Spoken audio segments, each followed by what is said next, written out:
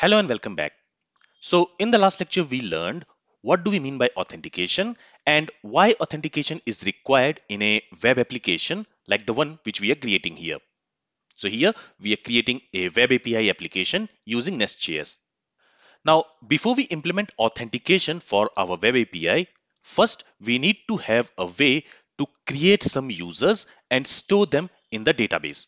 For that, we have already created an API. So if I go to VS Code, in our project, let's go to source folder. There we have this user folder and in that user folder, we have this user controller. And in this user controller, you will see that we already have an endpoint to create new users.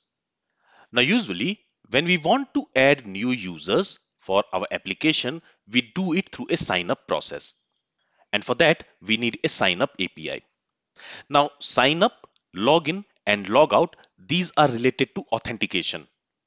So what I'm going to do is from here, I'm going to comment this endpoint because I don't want to create users by going to this endpoint by making a post request to root URL slash users. Instead, what I want is I want to have a new endpoint. So let me copy this and let me close this delete user and let me also close this request. So what I want is now I want to create a new endpoint which will handle a post request and that endpoint should be an endpoint for signing up a user and it should look something like this root URL slash auth slash sign up. And with this sign up request, we also want to pass some request body. Basically, the user detail with this request. So for example, I can copy this user detail from here and I'm going to specify it here. So now I want to create new users using this endpoint and not using this endpoint. And that's why I have commented that endpoint. Actually, I have to comment this endpoint. If I save the changes now and if I go to Postman and using this create user endpoint, if I try to create a new user, I should get a response saying 404 not found. Okay, because now this endpoint is not found. It is not present in our application. So this is one thing which I wanted to do. Now what I want is we also have this auth module here, basically this auth folder. And in that we have the auth controller, auth service, and this auth module file. So now I want to create a new endpoint in auth controller for sign up. Here you will see we also have a login endpoint, but we will talk about it later. Let's first go ahead and let's first create a new endpoint and I'm going to call this endpoint as sign up. Okay. And here this method, it should handle a post request. So here I'm also going to decorate it with post decorator. Now I want to call this sign up endpoint whenever a user makes a request to root URL and in our case the root URL is localhost colon 3000 slash auth slash sign up. Okay, so since for the controller, since we have already specified this auth, this auth will be appended to root URL. But after that, I also want to have this sign up resource. And that I can do by simply passing sign up to this post decorator, something like this.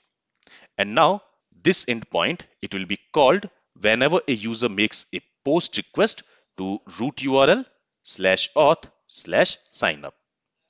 All right. Now from here, let me save the changes in this file. If I go to user folder and there if I go to this user service, there you will see that we have already written the logic for creating a user. So instead of writing this logic again in the auth service, in the auth service, I'll go ahead and I will create a method. I'll call it as sign up.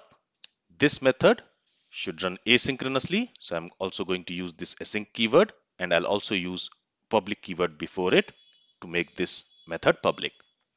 And from within this method, what we are going to do is we are going to call the create user method of this user service. Basically, we will simply call this create user method.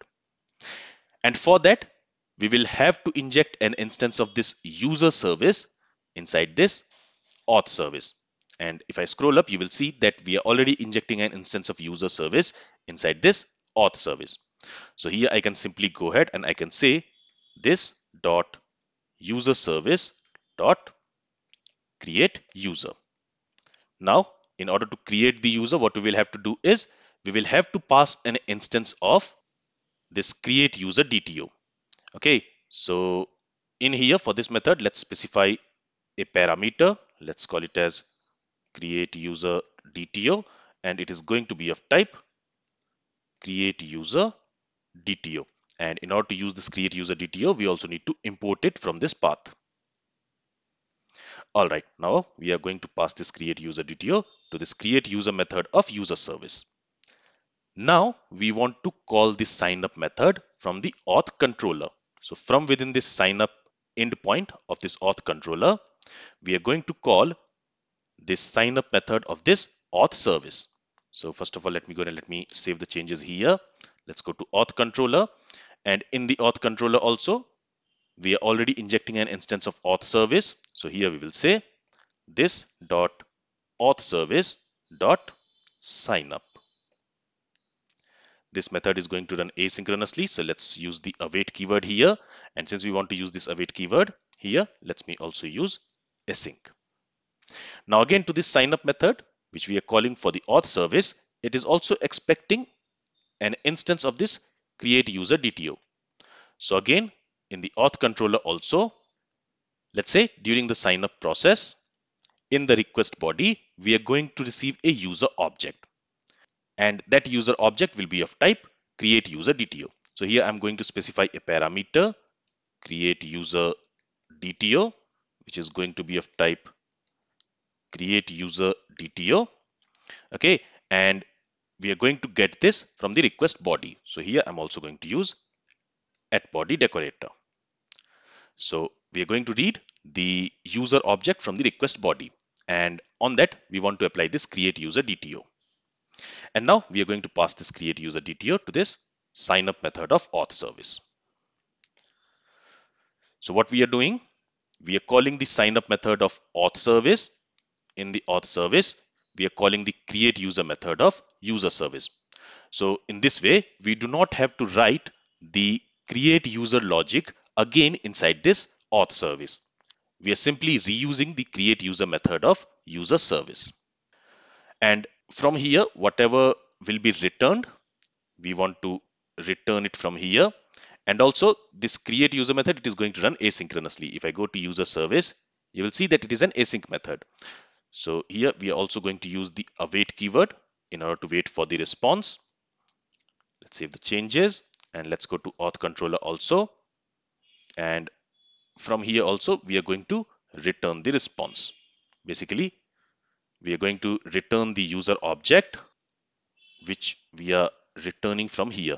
The response which we are returning from here. You see at this line we are creating a user and that created user will be returned by this save method. We are simply returning that user in the response. So this returned user we will get in auth service. At this line once we have that user we are returning it and we are calling the sign up method from this auth controller. So there also we will receive that returned user and we are returning that user in the response. With this, let's save the changes. Let's go to terminal and let's see if everything is working as expected. So as you can see, the application has been built successfully. Now let me go to Postman and now let me close this request. Let's go to this request where we are going to make a post request to root URL slash auth slash sign up because this endpoint is our sign up endpoint. And there I'm going to create a new user. I'll call this user as John Smith 23. So this is the username. Let's say the email is John Smith. Let's keep the password as test1234. And for the profile, I'm going to specify the first name as John, last name as Smith and the gender is male. Now here, if I make the request, let's see what happens. So here we have this 500 internal server error response. And if I go to terminal, there we can see the error and it says cannot read property of undefined, reading create user. And this error has occurred at line number 26 of auth service. So let's go to Visual Studio. Let's go to auth service and there at line number 26 what we are trying to do we are trying to call the create user method of user service and for some reason this user service is undefined.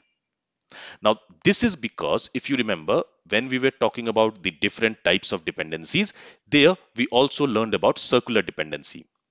So we injected user service in the auth module and we also injected auth service in the user module and in this way we were creating a circular dependency.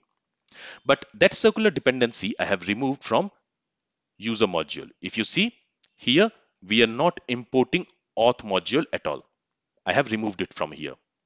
But if I go to auth module, from there, we are using this forward ref. And we have learned that we use this forward ref whenever we want to have a circular dependency. But now, since we are not importing auth module in the user module, there is no circular dependency. So that's why I can simply remove this forward ref from here because that is not required because there is no circular dependency right now. Okay, let's save the changes here. Then let's also go to auth service and there when we are injecting this user service, there also since previously we had a circular dependency, we use this forward ref to inject an instance of user service. But now we don't need this. So I can simply go ahead and I can remove this forward ref like this. With this, let's save the changes now. Let's go to the terminal. So our application is building and it has built successfully. Let's go back to Postman and let's try to create this user again. Also, let me go back to Postman. Let me rerun this query. So currently you will see we have two users. Let's go back to Postman and let me try to create this user. And now you will see in the response, you see the status code is 200. That means the user is created. You can also see the details of the created user like the username, email, password, profile, etc. As you can see here. And if I go to PostgreSQL database and if I rerun this query, you will see that a new user with the username John Smith 23 has been created. Now here if you see when we have created this user, we provided the password as test1234 and the same password has been saved in the database. So you can see a plain password has been saved in the database for that user. Saving plain password in database for a web API application is a major security risk and it should always be avoided. We should never save plain password in the database. That's because if your database is compromised due to a security vulnerability, attackers will gain immediate access to every user's password in a readable format. And this allows them to directly log into user's account on your application. They can try those same passwords on other websites and services because many users reuse their password on other applications. So it is possible that a user is using the same password across different applications. So the attacker will get access to all those applications using that username and password. And this can lead to widespread compromise of their online presence. And if the attacker wants, he can also sell or leak the password database, causing further harm to your users. And not only that, malicious or even negligent employees or the developers who is working on that application, they will have access to the application database and they can also see the username and plain password of all the users. And this bypasses any intended security measures because if the developer wants, he can use these details with malicious intent. And that's why we should never save plain password of a user in the application database.